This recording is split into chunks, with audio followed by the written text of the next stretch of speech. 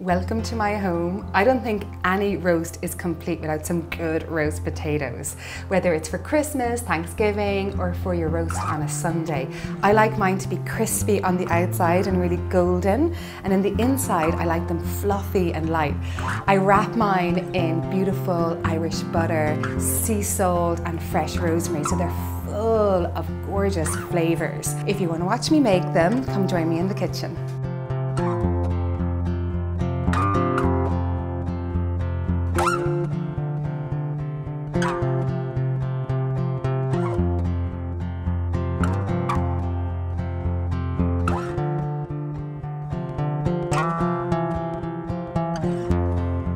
So this is how I roast my potatoes, which I think end up being the perfect roast potato. So you need potatoes, which you should have peeled, um, some fresh rosemary, a clove of garlic, and some really good quality unsalted butter and some sea salt. So the first thing you want to do is cut the right size for your potato. I like my roast potatoes small, like about this size. So chop up your potato. I quite like to use Maris Pipers when I'm roasting potatoes. I think they work really well. The recipe that I have below feeds four people. So this again is the size of the roast potato that you want to get. And then you want to cover them about one third of the way with water. So what I want to do is half steam them so that they're really lovely and fluffy. I'm going to put a sprinkle of sea salt over them as well and put a lid on and then what I want to do is bring these up to the boil and then reduce the heat and let them simmer for about eight, between eight and 10 minutes.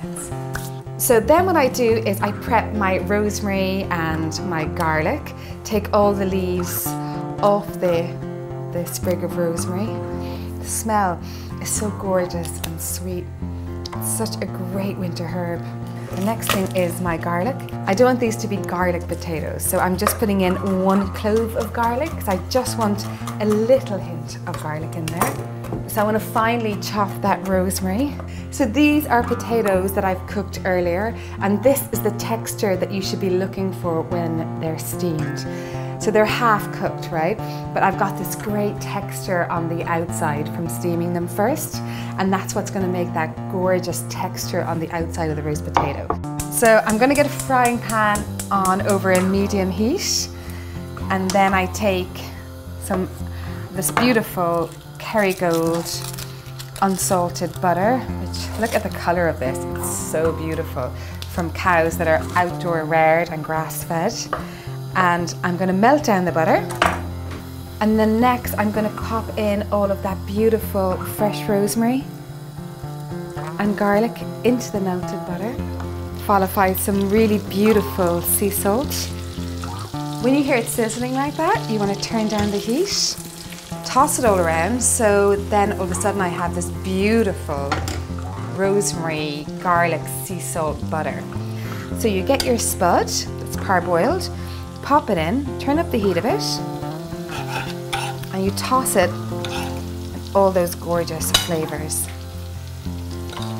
A dessert spoon is your best tool here, so just keep basting them in the juices and kind of tossing them around so each side of the spud gets all of those flavours wrapped around it. So now that they're completely coated and sealed a little bit with the rosemary, sea salt, garlic and that beautiful butter, I'm going to transfer them on to a baking tray.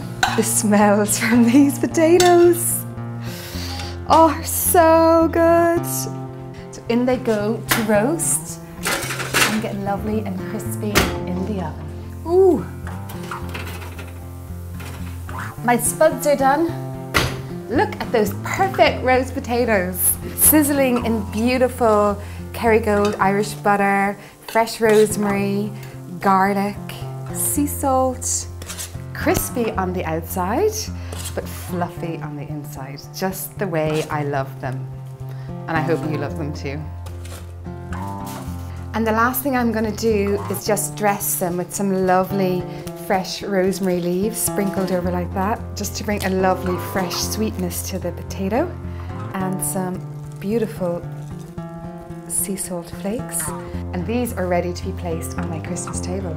So here we go, my perfect roast potatoes with rosemary and sea salt. The full recipe is below and make sure you pop over to my Christmas playlist for lots of other gorgeous Christmas recipes. So from me to you, Nollaig Shona.